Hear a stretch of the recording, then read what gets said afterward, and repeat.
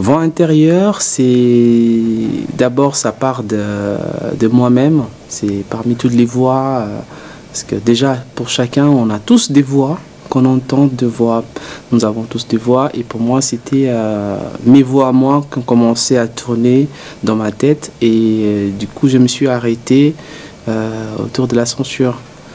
Et je commençais à questionner cette problématique de la censure d'abord pour moi et ensuite, pour le, Congo, j'ai commencé à questionner ces problématiques, cette notion de la censure au Congo. Et du coup, comme dans mon travail, euh, j'ai cherché toujours pour pouvoir commencer quelque chose euh, chorégraphique. Je cherche un élément à m'attacher.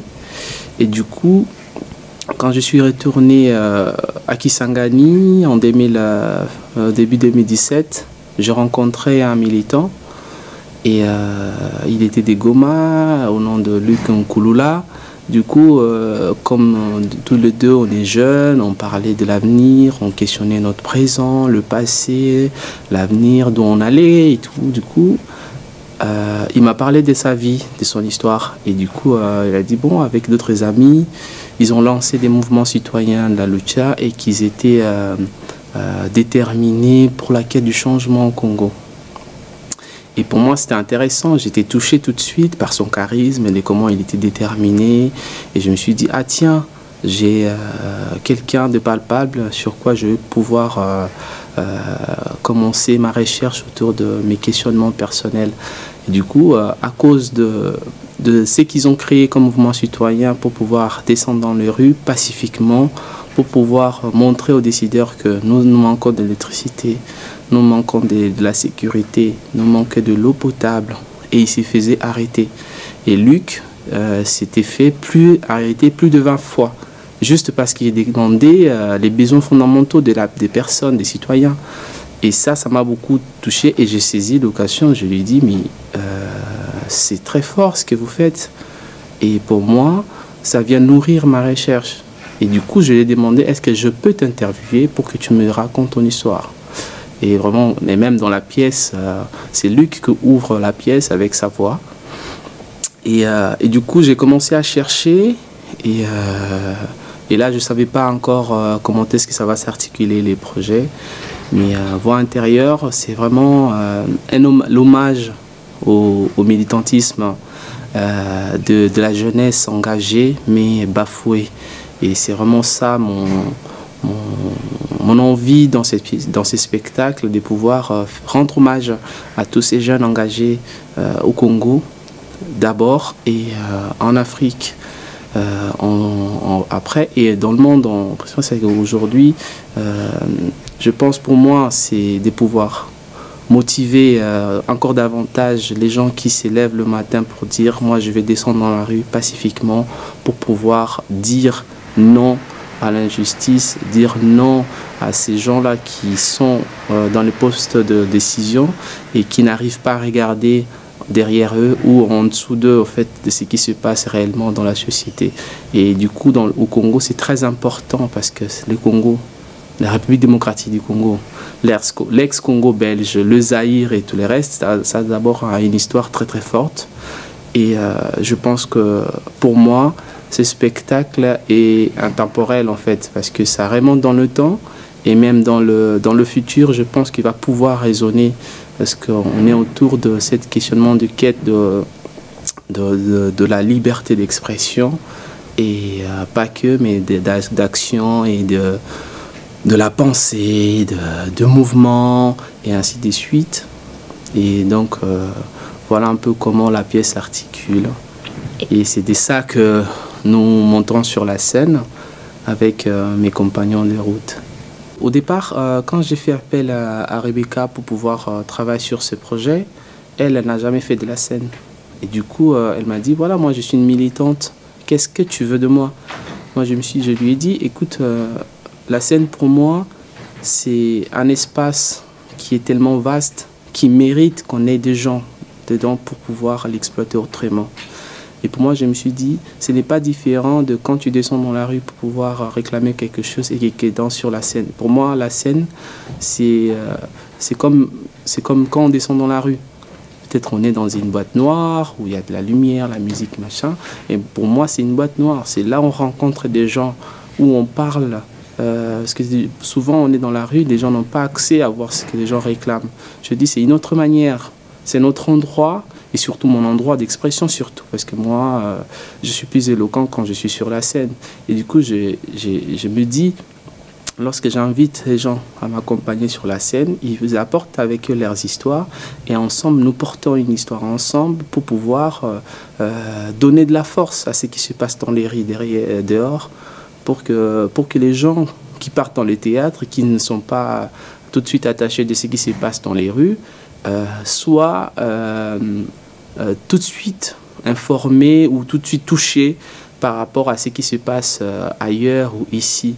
Donc euh, pour moi, la scène, c'est un endroit très euh, précieux, un endroit qui, qui permet des possibles, qui nous permet de pouvoir euh, raconter nos histoires, celles des autres, et partager des moments d'ensemble, c'est donner la force et de pouvoir, comme moi, dans le voix intérieur, je rends hommage, j'encourage, je donne de la force à ces mouvements citoyens de, de, de, manifestations pacifiques, pas qu'au Congo, mais euh, dans le monde. Et pour moi, je me dis, la scène mérite d'être un endroit où on se sent en sécurité aussi quelque part, où euh, on est euh, comme si on est chez soi à la maison, mais qu'il y a des gens qui sont là, qui nous regardent, et on leur dit la vérité en face, que l'on transmet nos envies, qu'on leur transmet nos, pensées et nos, besoins et nos histoires et qu'on partage avec eux. C'est une pièce qui a, beaucoup, d'éléments. Ça, a beaucoup, d'éléments. Principalement, c'est une pièce chorégraphique. Et euh, vu que j'ai invité avec moi un musicien qui est vraiment un guitariste avec un l'autochimiste Pichens Cambilo et que j'ai invité une militante active, Rebecca Kabou, je me suis dit qu'il y avait une nécessité de pouvoir euh, euh, non seulement pour l'histoire du Congo, mais aussi par rapport à leur euh, propre histoire personnelle, d'avoir une place. Et que lorsque Rebecca prend la parole, qu'on sente que c'est la militante, pas, pas la militante qu'on a transformée en une artiste, mais que ce soit la militante Rebecca qui prend la parole. Et, euh, et, tout ça, moi je me suis dit, pourquoi pas construire quelque chose autour de la, des, des, des, potentialités personnelles. Et du coup, dans la pièce, on verra fortement des touches qui vont être très visibles dans la musique, dans, dans la danse, euh, dans la parole. Et puis euh, trouver un équilibre dans tout ça et pouvoir être tous au même moment et au même endroit. Et, euh, et pour moi, je pense que au niveau où on est aujourd'hui, on a réussi à pouvoir créer ensemble une, une démarche commune euh, comme si on était en train de, de, de, protester dans la rue. On marche ensemble. On marche vraiment ensemble dans, dans cette pièce où on, on, lutte ensemble. À la base, euh, je suis danseur hip-hop. Et, euh, et, du coup, euh, dans le chemin, je rencontre la danse contemporaine. Et pendant qu'on faisait la danse hip-hop, euh, il y avait cette danse qui est née à Los Angeles qui s'appelle le crump qui est né dans, les quartiers. Et cette danse, c'était une danse de pouvoir éviter d'être dans les gangs, éviter de tomber dans, dans les gangs aux États-Unis ou d'être. Voilà, pour éviter la délinquance. Et nous, quand on était à Kisangani, dans la même époque, on sortait de la guerre on sortait d'un moment où euh, on était enclavé et qu'on n'avait pas d'autres endroits, endroits ou d'autres pratiques pour pouvoir euh, vivre en fait. Et du coup, avec des amis, nous avons créé l'association des danses où on organisait des battles. Et en ce moment-là, le, digital commençait à prendre aussi. Et du coup, on a vu de l'autre côté des États-Unis, de jeunes de quartier, ils ont créé leur, euh, leur mouvement et ils ont même créé une danse qui est euh, visuellement, tu verras qu'il y a des, des, c'est, c'est, assez violent et tout ça, mais c'est plutôt l'émotion qu'il y a dedans. C'est-à-dire que comment transformer quelque chose de très violent, comment transformer l'émotion de, de, du partage dans la société, de l'amour dans quelque chose qui est brut, quelque chose qui, qui, qui explose, quelque chose qui se retient, quelque chose qui arrache, quelque chose qui tire? Et pour moi, je, je me suis dit par rapport à l'histoire de la création de cette danse et par rapport à mon histoire à moi, de sortir de ces moments-là, je me suis dit, euh, bon, aussi comme j'ai rencontré cette danse et que je l'ai pratiquée pendant que je faisais la danse euh, hip-hop, je me suis dit, je vais euh, convoquer cette danse, parce que cette danse se rapproche de la danse traditionnelle africaine non seulement qu'elle a été créée, parce que ça a été créé dans les communautés noires aux États-Unis. C'est-à-dire que ça se rapproche du danse traditionnel. Et connaissant la danse traditionnelle, je me suis dit, ça, pour moi, ça me parle plus. Et par rapport à ce que j'ai vécu, par rapport à ce que nous, vivons actuellement au Congo, en Afrique, ça mérite sa place. Et euh, c'est un mélange dans ma danse, c'est un mélange de cette danse, parce que cette danse, pour moi, c'est une danse de, protestation, une danse de, de libération, une danse d'expression, une danse qui est directe, qui va dans le corps, qui va face aux autres, et, euh, et, pour moi, ça prend sa, place. Euh, et là, et, euh, ça se mélange de, de, ma danse contemporaine, celle qui m'a permis d'être sur scène, de faire la dramaturgie et de pouvoir travailler autour de l'espace, de pouvoir travailler son corps, travailler l'équilibre de son corps et des passages de tous ces mouvements-là. Pour moi, c'est aussi comment je raconte aussi en même temps mon processus de ma construction personnelle dans la danse. Et, euh, euh, et, comment je me suis construit, ça résonne aussi de comment je me suis sorti de, de, tout ce que j'ai vécu pour pouvoir aller dans la danse et pouvoir euh, raconter ma vie, raconter nos vécus, partager mon quotidien dans la danse. Et ces danses-là, par rapport à l'histoire, par rapport à ces, ces fondements, par rapport à, à ses forces et par rapport à ce qu'ils racontent, par rapport à leurs histoires, ça me parle plus dans cette pièce et euh, c'est là que je les convoque pour pouvoir euh, euh, nourrir et encore plus voir l'intérieur. Il y a toujours une différence par rapport au climat, par rapport au, lieu, par rapport à l'histoire, mais par rapport à, la pièce elle-même, je ne pense pas qu'il y aura, une différence. Parce que en tout, de toutes les manières, on parle de la liberté d'expression. On a besoin de ça partout. Partout. Et, euh, la, dans la différence, c'est que euh, au Congo, on a, on, a, on a, du mal à des gens de, de pouvoir accepter qu'on leur dise des choses en face. On a du mal. Même ici, il y a du mal. Mais l'échelle, il est un peu, il y a un écart par rapport à l'échelle de, de l'acceptation. Et la différence, c'est que nous, là-bas, moi, euh, je serais euh, content de jouer autant ici qu'en Afrique. Et pour moi, je pense que aussi ce serait important, euh, par exemple au Congo, euh, au Cameroun, au Guinée, euh, au Rwanda, euh, en Afrique du Sud, ça, je pense que ça, ça a besoin d'être montré aussi là-bas encore plus, parce que, euh, par exemple à Kisangani d'où je viens, j'ai besoin de la montrer là-bas aussi, parce que j'ai besoin que mes frères et sœurs et euh, comment est-ce que leur fils euh, est en train de questionner les problématiques de la liberté d'expression.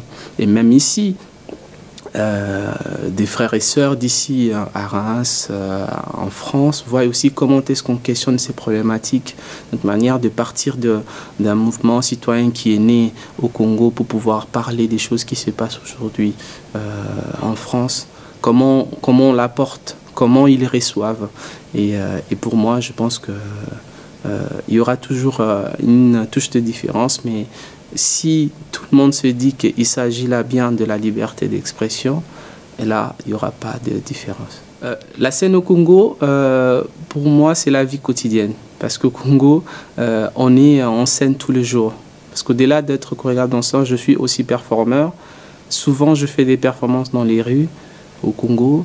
Et parfois même, en marchant, tu vois des gens en train de faire de la performance pour la survie. Parce qu'il y a un dicton qu'on a, qui a été fabriqué euh, pendant l'époque de Mobutu, euh, ça s'appelait l'article 15. Ça ne figure pas dans la constitution du Congo, mais tout le monde sait ce que c'est quand on te dit Ah, l'article 15, ça veut dire débrouille-toi quoi, pour survivre. Personne ne te donne rien pour vivre, on te dit juste débrouille-toi pour survivre. Et du coup, ça, c'est de la performance. Et les gens sont tout le jour sur la scène, en fait, tout le jour dans la scène pour pouvoir survivre. Et on se met en spectacle, les gens se mettent en spectacle, les gens euh, euh, se disent si je ne sors pas de chez moi, qu'est-ce que je, je, vais devenir? Les gens finissent des études, il n'y a pas un programme d'emploi. Les gens se mettent en performance, ils sont sur la scène. Et pour moi, tout ça, c'est des sources d'inspiration parce que je m'inspire de ça. Et c'est pas pour rien, je fais aussi des performances dans les rues. Et pour moi, au Congo, euh, la scène, euh, il n'est est pas là, mais il est aussi partout en même temps. On n'a pas des, de, salles, euh, de théâtre équipés tout ça, mais la vie quotidienne, comme on dit chez nous, la vie quotidienne, c'est un spectacle. Donc on assiste à des spectacles tous les jours, tout le temps, et c'est avec toutes les formes possibles toutes les formes poétiques, épiques, criotées, de malheur, et c'est tout dans la vie quotidienne. Et, euh, et, voilà, même à l'école, là nous allons à l'école, nous assistons à des performances, à des, spectacles, dans des universités. Et, euh, euh, en pensant ça, ça, ça nourrit euh, ma pratique, ça nourrit mon, chemin euh, de, de, de, danseur et chorégraphe et performeur. Euh, en ce moment-là, je me sens en sécurité. Premièrement, qu'il euh, y a des gens qui viennent me prêter euh, l'oreille, mais pour me donner un regard. En tant qu'artiste, on a besoin de ça. Et que les gens, s'ils se déplacent, ils sortent d'eux. Il y a aujourd'hui, tu peux rester chez toi, tu regardes tout ce que tu veux. Mais les gens se disent, je sors de chez moi et je vais au spectacle. Et pour moi, c'est euh, c'est eux qui sont à l'honneur. Au contraire, c'est eux qui sont à l'honneur lorsqu'ils viennent me voir ce qui me donne la, la, parce que là je peux rester dans un studio je travaille mon spectacle que si j'ai pas des gens qui viennent me voir ça ne sert presque à rien mais ça sert à quelque chose parce que ça reste quand même ça reste du travail mais lorsque tu as des gens qui viennent te donner euh, 10 minutes de leur temps pour pouvoir te regarder ça c'est un ça c'est un honneur pour moi c'est l'honneur pour moi de, le voir et pour moi je me sens que je suis dis je suis en, sécurité et euh, et euh, c'est eux qui sont en l'honneur.